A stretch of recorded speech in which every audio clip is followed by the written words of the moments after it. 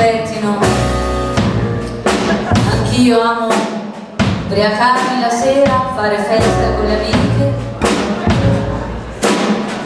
A differenza di Bessie Smith io di solito non porto a casa uomini e quindi non mi ritrovo sorpresa.